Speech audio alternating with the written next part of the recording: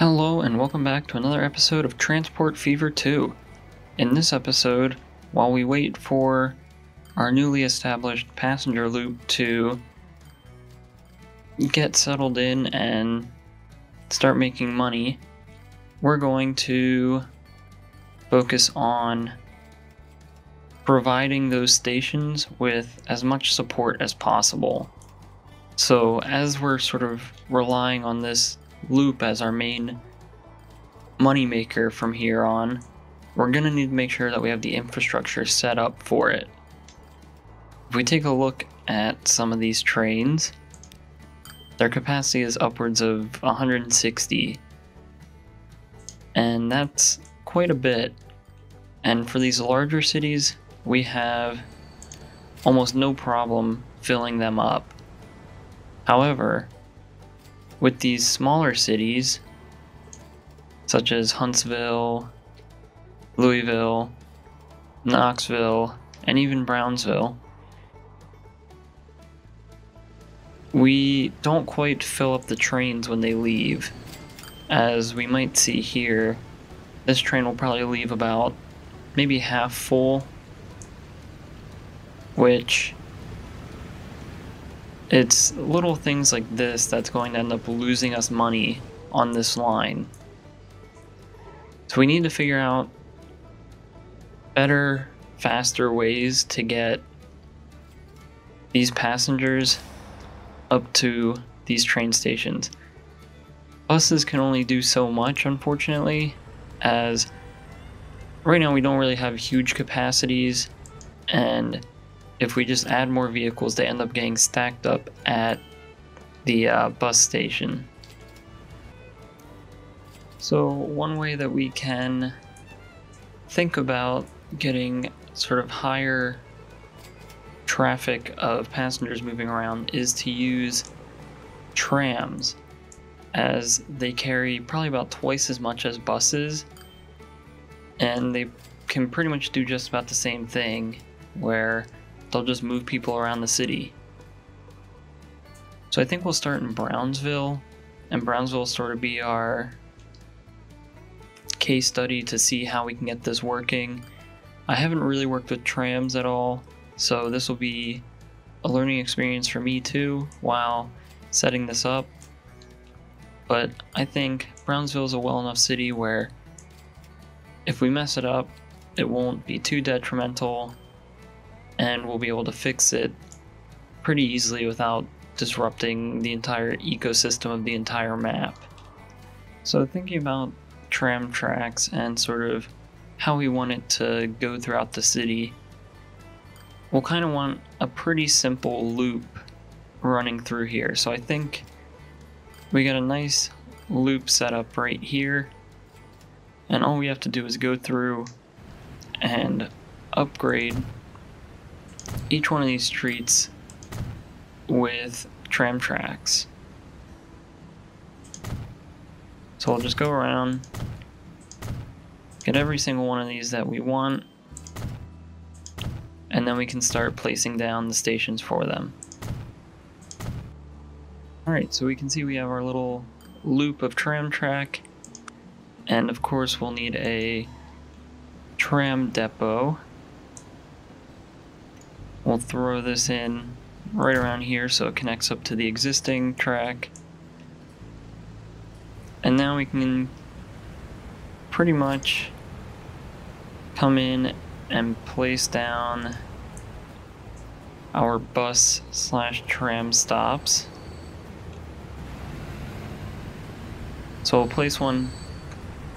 Actually, let's delete this one and move it over just a little bit so that this one will still count as the bus stop that was there before, but we can also use it for the tram. And then we can place down another stop somewhere around here-ish. Actually, I think Let's do something similar since this bus stop is here. let's see if we can get it to move here, which it did. So that's what we want. And then down here we can have another tram stop. And then the one here automatically updated to one.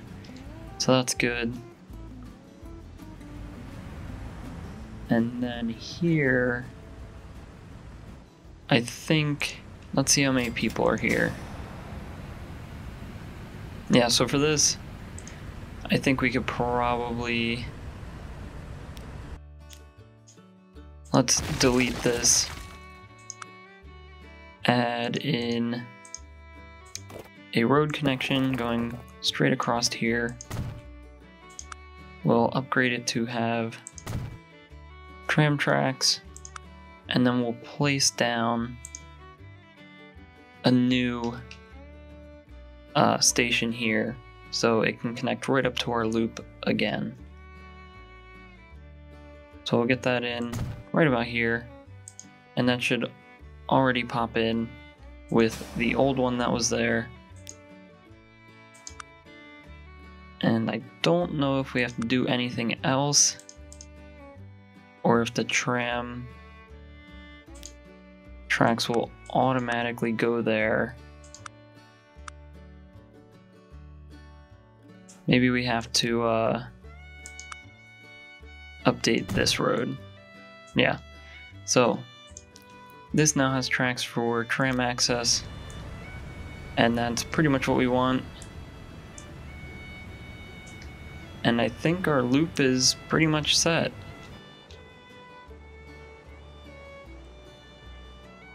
So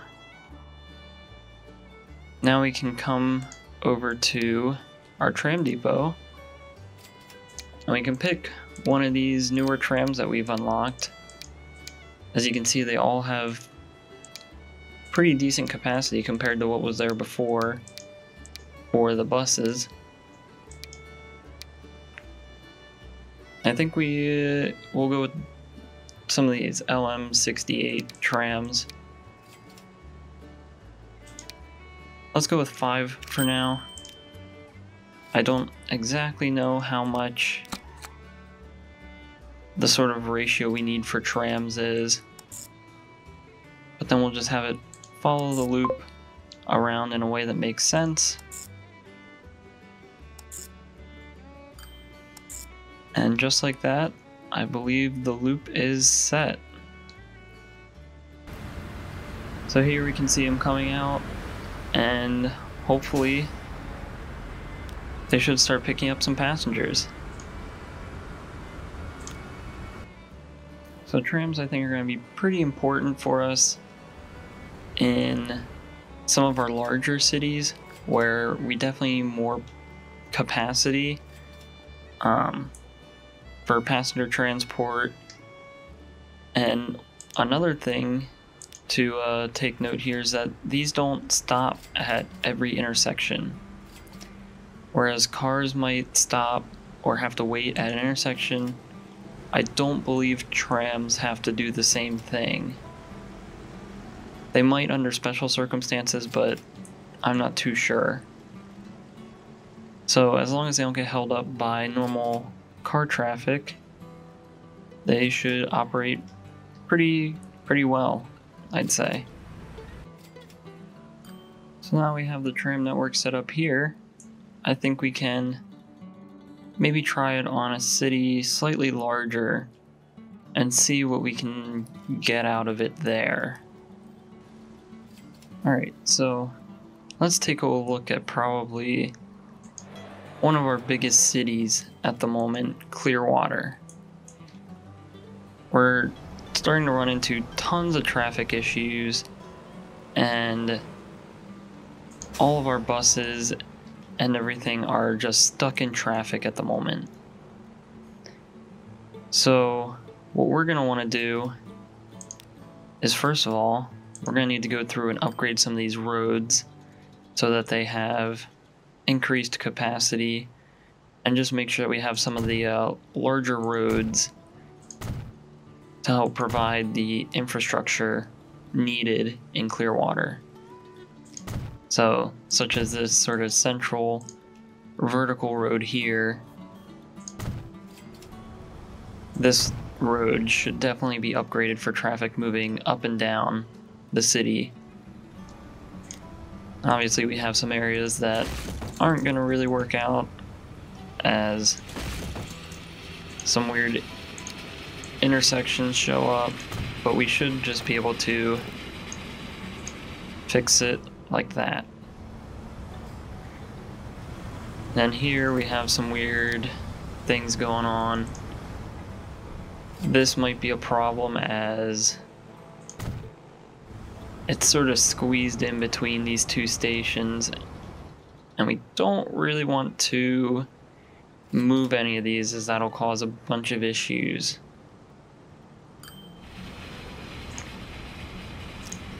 So let's pause real quick here. See if we can move. We can't move this one over because this truck station will get in the way. So we can come in here, delete that, replace the cargo building there, and get rid of that too and plop that down. Those are the wrong buildings. So we can get in these buildings. And now we should be able to delete that, replace it with a new one that should give a little bit more space along this road. And I think we'll want this as close to the cargo station as possible, just so we don't get any weird issues going on there with those small intersections. Then the last thing we need to do is figure out how we're gonna get this in here. We might be able to configure this station where we can delete this building on the end here. And I'm not too sure what that building was. I think it might have just been uh, one of these cargo buildings. But let's see if we can get some more in over here. So yeah, we can fit a couple of these uh, small buildings in along here, and then I'll just uh, make it so that we have space to upgrade this road. And I don't think that should really cause any issues with our cargo distribution as it still can reach this truck station. Now we should be able to upgrade this road. And now we have sort of our main road going up and down the city as a four lane road. We will want to upgrade this road here as this is an outside connection and make sure that connects up here so we don't squeeze traffic anywhere. I think the last road we'll want to upgrade is this one here, as this also leads to an outside connection. And as we can see, it's definitely getting used by a lot of vehicles at the moment.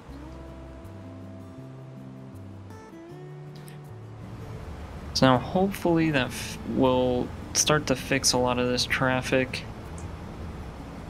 We might need to move this uh, cargo truck stop somewhere else as it seems to be causing some issues here of traffic not being able to go through. But let's... We'll leave that go for now, see if it clears up at all.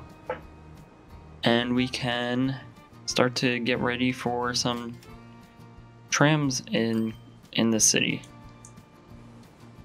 So the way I think we're going to do this uh, tram track in Clearwater is our main road really for uh, passenger traffic is running this way. So I think we might just have one line going straight up this road. It'll do like a little loop at the top, come back down, have like a tiny loop down here, and I think that's just where the tram will be.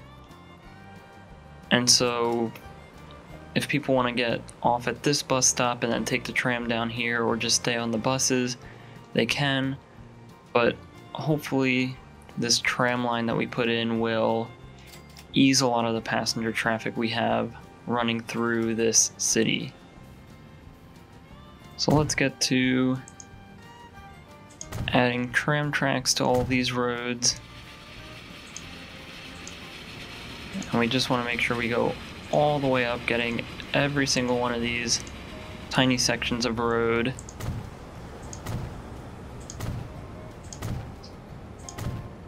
And then all the way up here at the top, we're going to come over, hit this stop here,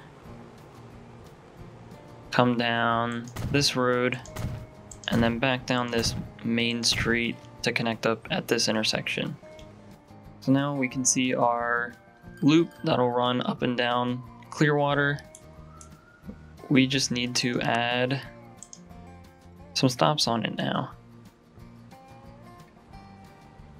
So sort of, we want to make sure that we get stops running in both directions as this will be going up and down one street. So I think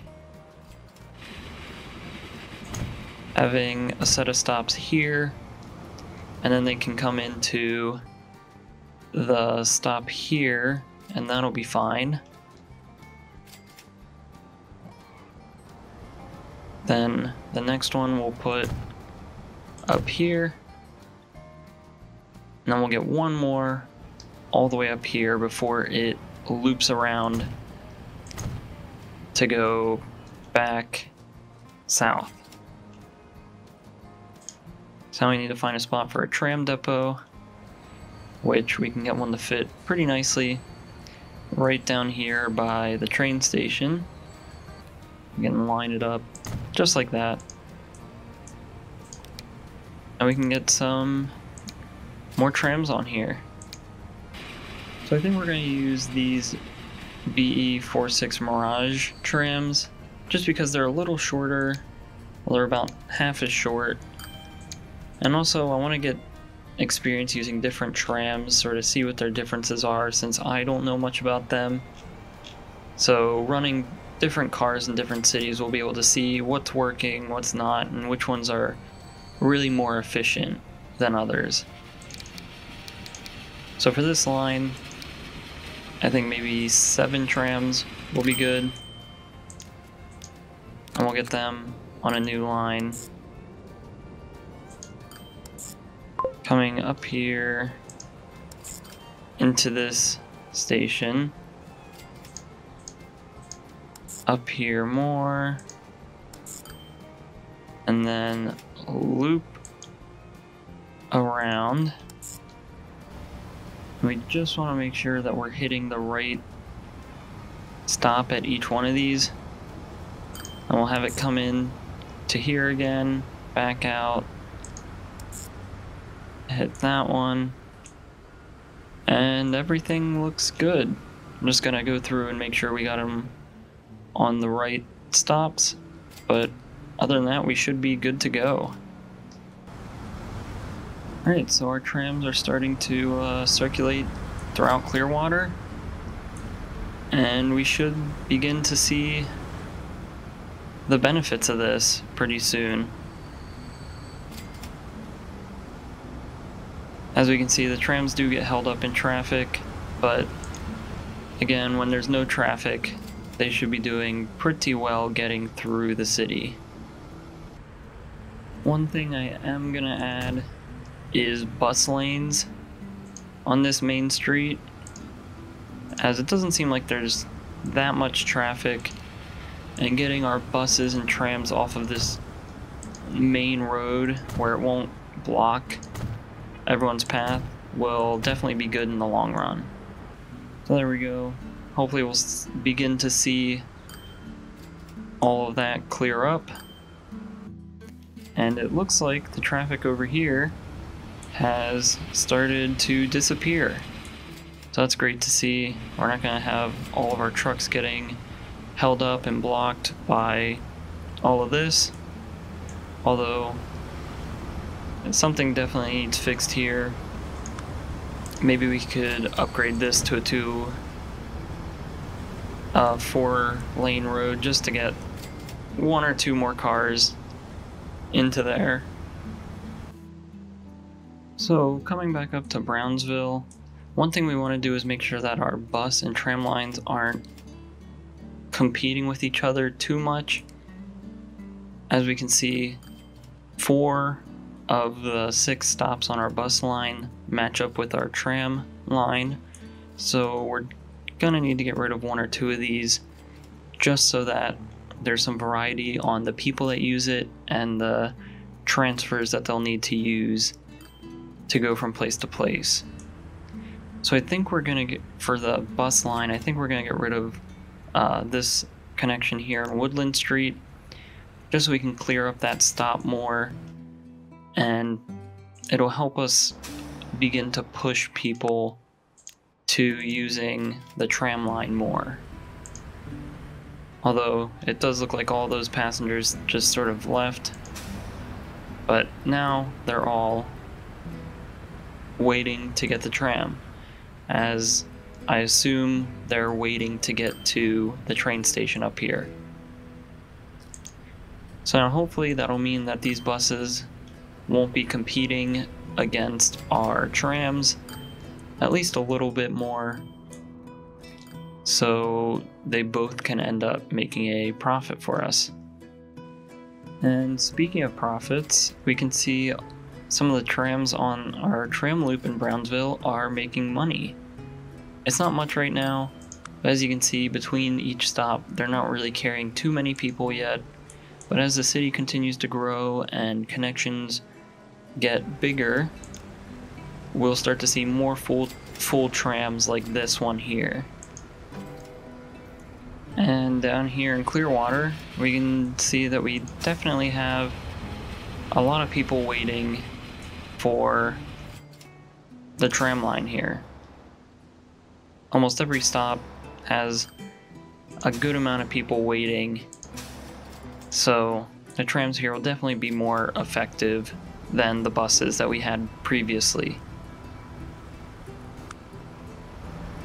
Okay, and looking in Clearwater at our trams, we can see these ones are also making us money. I think we might get two more trams on this line, just because we can see there's not really any waiting down here. They're all sort of up and around these areas. And I think I might also get some uh, bus lanes in on this road here. I know we just upgraded to a four lane road to help with traffic, but it seems like they're all using one lane anyway, so we'll give them a bus a bus lane so that it doesn't affect the uh, buses and trams we have running through here. Alright, and I think that's pretty much going to be it for this episode. We got some trams running up in two of our cities now, and we'll see the effects that that has on our larger passenger loop. Hopefully next episode we'll check in on it and see if it's making us money or not, and how it's affecting passenger travel. But that's all for this video. If you enjoyed it, please like and subscribe. If you have any feedback or suggestions, leave a comment below. Thanks for watching, and have a great day.